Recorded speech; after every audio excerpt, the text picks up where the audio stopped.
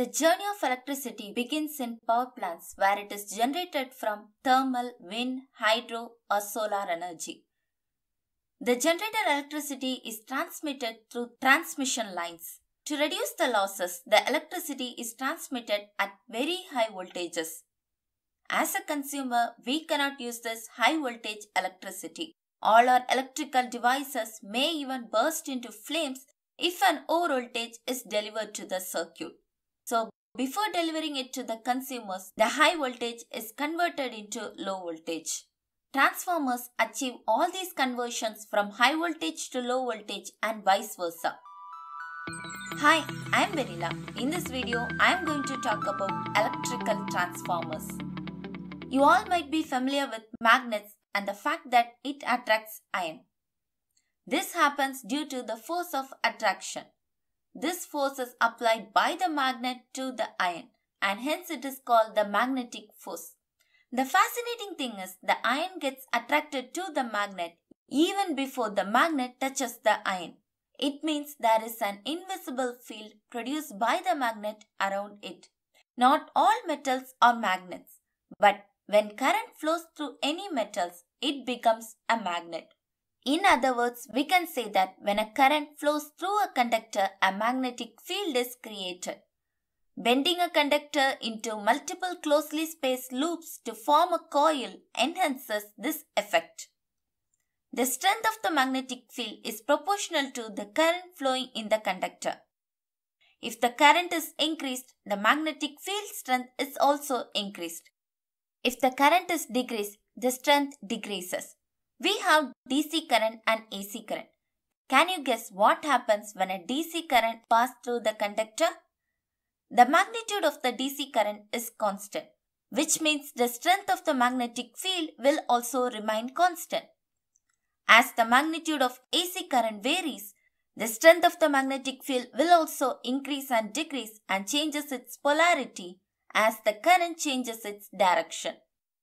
Let's just take another coil of wire and connect it to a light bulb. The bulb doesn't glow since there is no power supply or battery connected to this network.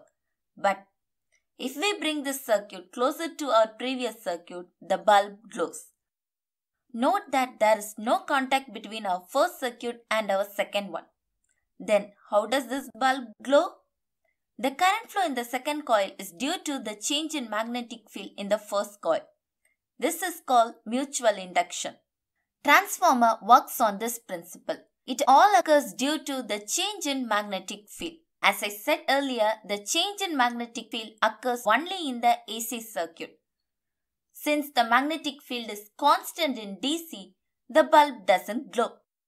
It means there is no mutual induction in DC. That's the reason transformers can only work on AC and cannot be operated on DC.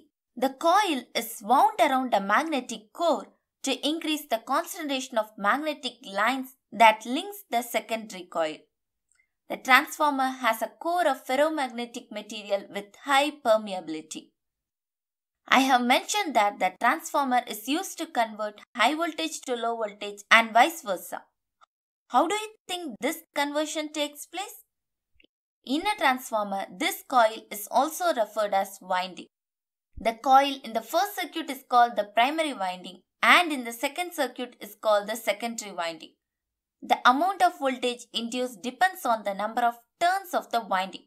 If the primary and the secondary windings have the same number of turns, the voltages at primary and the secondary will be the same in the ideal case. If the number of turns in the primary winding is less than the number of turns in the secondary, then the secondary side voltage will be higher than the primary side voltage. Since this kind of transformer raises the output voltage, it is called the step up transformer. Similarly, if the primary winding has a greater number of turns than the secondary, then the secondary side voltage will be lower than the primary side voltage. Since this kind of transformer reduces the output voltage, it is called a step down transformer. Even though the presence of magnetic core increases the efficiency, there is still a lot to improve. One of them is eddy currents. Eddy current is the circulating current that flows in the core of the transformer. We only need current to flow through the windings. We don't want any current to flow in the core. Energy will be lost to eddy currents and results in heating the core. To avoid this, instead of using a single piece of solid core, we can use a laminated core. It means thin slices of insulated silicon steel materials are glued together and compacted into a solid core. According to the construction of the core and the winding arrangements, the transformer can be divided into two types the core type transformer and the shell type transformer. The core type transformers are the ones we discussed earlier. Here, the windings surround the core.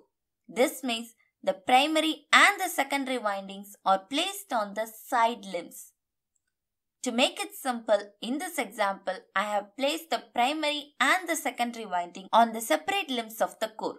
But actually, these two limbs will carry equal parts of primary and secondary windings in order to reduce the leakage flux. These coils are insulated from one another. In the shell type transformer, the core surrounds the winding. This means the primary and the secondary windings are placed on the central limb. A three-phase transformer can be connected either by connecting three single-phase transformers or a single three-phase transformer. The advantage of building a single three-phase transformer is that for the same kVA rating, it will be smaller, cheaper and lighter than three individual transformers connected together because the core and the windings are used more effectively.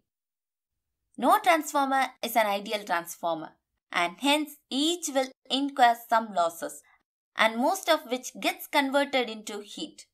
In order to stop the transformer from overheating and becoming an explosion hazard, we need a cooling system. There is a dry type transformer and oil immersed transformers. Dry type transformers use air as a cooling medium. The oil immersed transformers use transformer oil as a cooling medium. They are used in power distribution or electrical substations.